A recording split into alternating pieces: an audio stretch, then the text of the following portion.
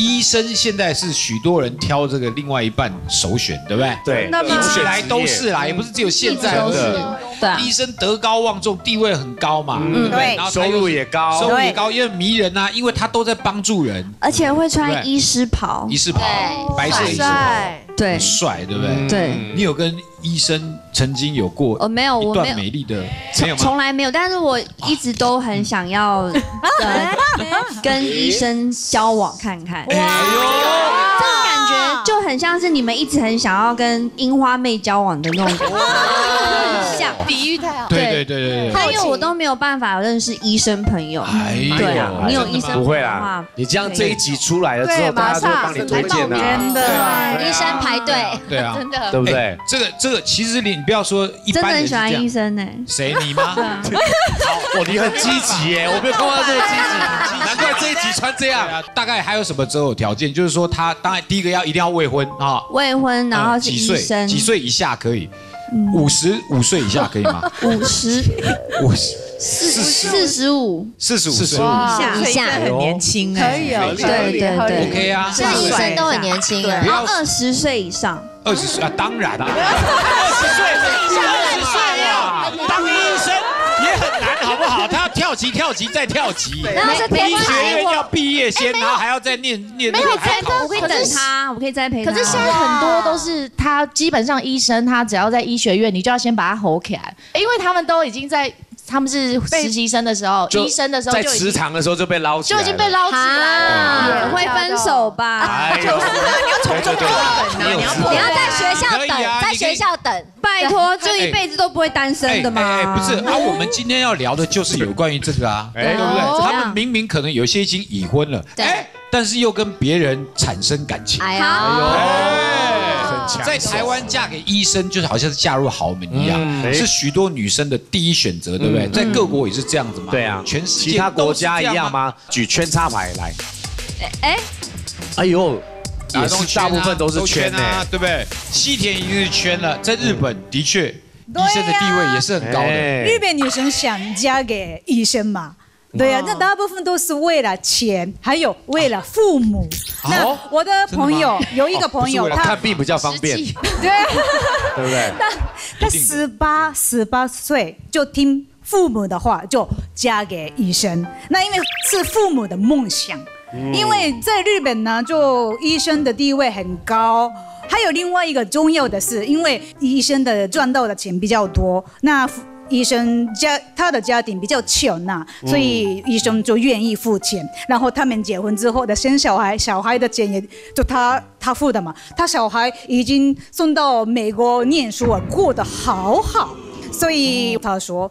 一点都没有后悔，就没有完全没有后悔，就是没有真爱，可能那就可能没有真爱。对，可是可是为了为了父母，为了钱呐、台湾有三科，其实哦蛮赚是钱。什么什么？一整二皮三小儿。啊？前小儿科。三名，第一者整形嘛，整形。第二个皮肤嘛，皮肤科第二个小儿科嘛。是全台湾前三名多金的医师。哇，所以你们要找哎，不要随便乱找啊！要找那个没有，就是一定要自己自费项目多一点的啊。对对对，对呀，呃你去找健保都给付，我可以告诉你，是。你哦会想嫁给别科医师，因为你自己的先生太穷了。哎。呀我也很推荐大家常常去挂急诊，急诊好多帅哥医生，真的假的？因为急诊都是菜鸟、年轻的医生，对对对哇塞不好的，都是鲜肉但是他们都很帅又很年轻，对，年轻比较多。我每天都骨折过去。海狗哥今天到晚要打断你的腿啊！天拍别他说打我打我打我，真的是好。来五羊，比如说哦在巴西呢，在巴西，你如果嫁给医生，就好像中乐透的概念，哇对，因为就是钱太多了嘛。我们巴西那个前十名的职业医生是排第一名。哦，给你们个数字好了，我们巴西的低薪是一千两百块巴币，大概赚个七千台币哦，很低。那医生呢，平均赚多少？一万五到一万七八 B，，这个是好几倍的数字，十倍十倍以上了。那除了这个以外呢，巴西还有一个缺点，就是我们的健保太太贵了，就是一般百姓都付不起。那你如果有一个一个老公是一个医生，就是多好多福利，你的亲友朋友们都生病了，还可以免费找医生，多好。所以在巴西，医生是排第一名的。哦。有一个人加纳大只有他，对啊，对。是乌克兰女对啊生不喜欢不喜欢祖雄在看是不是？就是跟大家不一样，因为我们的医生薪水很低，大概一个月一万块台币，然后怎么可能是真的真的。然后那个如果他开自己的医院好一点，因为他是老板就有钱，但是如果他去打工在那个公立的医院就完全没钱，就是一万块。然后他们的工作的时间也很不固定，就是电话一来了你就要去，不管是生日、过年，就是他都不在家，所以我们听到医生觉得哦好麻烦，不要嫁给医生。哦，那那你们有你们有分那个国立跟私人的医生吗？有有有有，私人应该好一一点，大概一万五左右，也不会多。怎么会这样？谢谢谢谢我的。好扯，是哦，Well，医生好可怜。所以很重要的就是看你真正赚到的钱有没有多啦，嗯对啊，这个真的蛮重要这样。你像我看《七次医生》，曹正是演的那个是肝胆胰脏的外科医生，那个应该肝胆肝胆肠胃科，肝胆肠胃因为内科对啊，因为他有做所谓的一个内视镜的大对手术啊，有钱有一些自费有。很有钱。哎哎，可可是我问一下如果那个医生是光头，你愿意吗？哎，愿不愿意？他多他现在有，紧吧他现在有名单呢执法，有。但是他光头，他他为什么光头呢？医生很糙哎。对啊，很累啊然后这十个医师几乎有八个医生都是没有太多毛在顶头上。压力太大。十个十个秃头九个富啊，有钱具经验嘛，对啊。经验啊。那没有戴帽子，其实哎 OK 哎啊，他每天要戴手术帽可以吗？可以可以可以。可以。啊。每天戴帽。我我就是想要看他每天穿医生的那个样子啊。对啊，就就帮他准备啊。就像你们喜欢看那个学生妹。学生服啊，他喜欢看医生哇。的医生医生哦，我帮我治疗一下什么的，对不对？那我今天要讲的这个案例哦，哎呦。坦白讲，他已经是教授席了。好，我们把范围稍微拉小一点点。好，我们从北北基桃的某一家呃教学医院，哦，就是说那个教授呢，呃，他本身有个人的私人的办公室，几乎我觉得所有的教学医院都会有哈。那他们都会有配一个呃助理。对，那据我所知，这个某教学医院的教授，那个助理原本的助理已经很老，要退休了。好，大概差不多呃五十五岁，他准备退休，因为又矮又胖又肥嘛。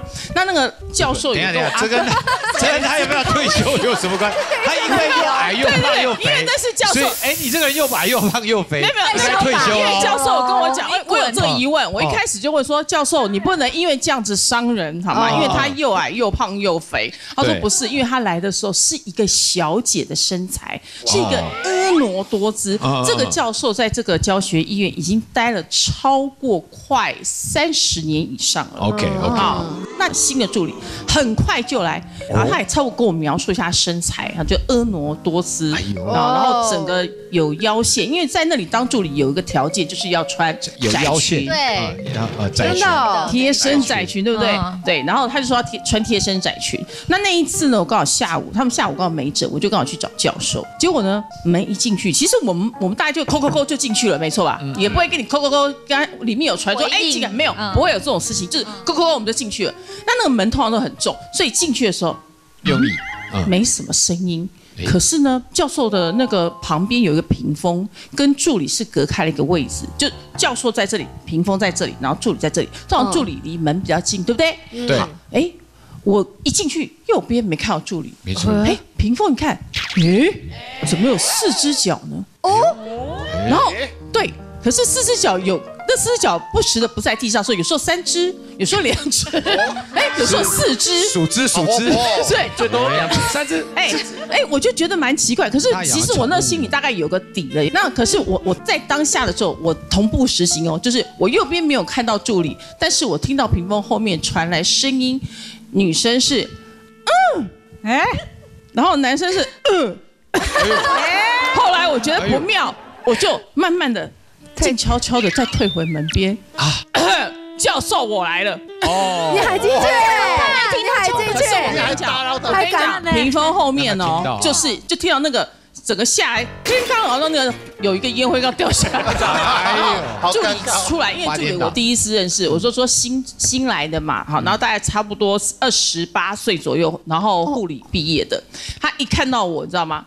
头发弄一弄，短裙噻，瞧一下，歪歪的，好，然后就这样走到他位置上，啊，我是屏风要绕过屏风要进去了，然后教授就坐着，然后抽他的雪茄，啊，然后我就这样，他是坐着，我是站着，我就这样，嗯，教授你的裤子没拉拉链，真的啊，我就这样子啊，我就这样直接跟教授讲，教授说，哦，什么事？就很顺手这样，什么事？哇。哇，其实我觉得就是没在怕，好感没没有在怕，可是我觉得那个小女生也很厉害，是因为教授本来他就结婚很多，因为他算是有年纪的教授，但是医院的确很多地方蛮隐秘的，对，有一些隐秘的地方，我们每次都有那个正宫啊来找医师，然后来说我要送便当啊，还什么的，然后我们就跟医师使了使个眼说，哎，那个夫人来了，然后他就假装一直在看同一片的 X 光片，不知道，看看多久，就说我在忙，我在忙，对，避他就免接触。就只是看说我在忙，叫他放桌上就可以了，然后就请夫人放在桌上，然后就请夫人回去。啊，对，所以你们要通知就对。我们一定了，要通知，是医生规定你们要通知，就是要这样回夫人啊，就说在忙，在忙忙，对。哦。对，然后要不然就是。有那种业务，因为有很多那种药物，那药物的业务啊，对药厂业务，药厂业他的办务公室买的。只要他一出现，我们医生立刻就说哪一个，然后就他们两个就一起手牵，哎，没有手牵手，牵手。没有手牵手，就那医生一定就出现了，然后他们就走往密室里，就不忙了，医生就不忙了，对，也不用吃力哪里哪里？就是他们哪一个密室？在医院区域啊？哪里有？别家医院呢有分粉红色走廊跟蓝色。哦哟，我知道哎。对，别家医院不是我们家医院，然后他们就会通知那个业务说你在粉红色第三柱的那个。